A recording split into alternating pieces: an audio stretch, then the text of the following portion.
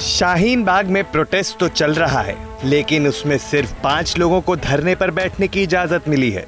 जूता चप्पल अलग रखा गया है। ज़रूरी सुरक्षा के उपाय किए गए हैं। महिलाओं को हमजद सूट पहनाने को कहा गया। हमजद सूट से बॉडी पूरी तरह ढकी हुई होती है।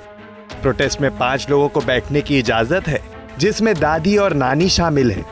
वहीं शाहीन बाग धरने से थोड़ी दूर लगे पुलिस बैरिकेड पर किसी ने कोई केमिकल जैसी चीज़ फेंकी। जिसमें किसी के घायल होने की खबर नहीं है।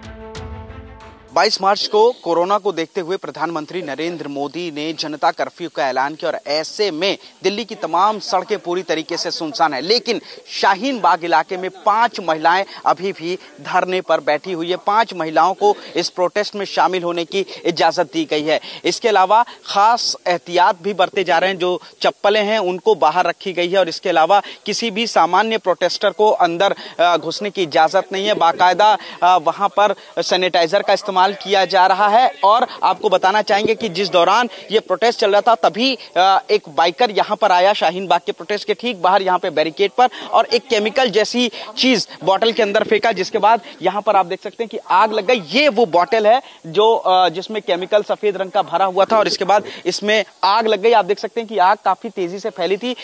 इस गली की तरफ़ से बताया जा रहा है कि जो बाइकर था, वो आया और उसके बाद उसने ये यहाँ पर केमिकल फेंका था। पुलिस उस वक्त यहाँ पर इस गेट पर मौजूद नहीं थी, लेकिन पास में पुलिस थी, फ़ौरन आई और उस आग को फ़िलहाल बुझाया गया है। इसके बाद ये भी बताया जा रहा है कि जामिया इलाके में वो बाइक कर गया और वहाँ पर भी उसने केमिकल जैसी कुछ चीज़ फेंकी है। फ़िलहाल पुलिस इस चीज़ की इन्वेस्टिगेशन कर रही है। एक सीसीटीवी फुटेज भी पुलिस को मिला है, जिसमें संदिग्ध बाइकर नज़र आ रहा है। तमाम पहलुओं पर जाँच की जा रही है कि आखिर वो बाइकर कौन था और क्यों इस तरीके से उसने ये एक संदिग्ध तरल पदार्थ केमिकल यहाँ पर शाहीन बाग में प्रोटेस्ट जो स्थल है, उसके ठीक बाहर फेंका है। फ़िलहाल यहाँ पर जो प्रोटेस्ट है, वो चल रहा है। पाँच महिलाएँ मौजूद हैं। उनको हजमत पहनाया गया सूट, जो ये सूट पूरा बॉडी कवर करता है ताकि किसी भी तरीके का जो वायरस है, इस पर असर न करे। फ़िलहाल जो जनता कर्फ्यू है, इसको ध्यान में रखते हुए सिर्फ़ पाँच महिलाएँ ही शाहीन बाग प्रोटेस्ट में बैठी हुई हैं।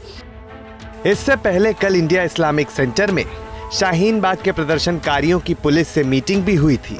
जहाँ प्रदर्शनकारियों के बीच झगड़ा भी हुआ था।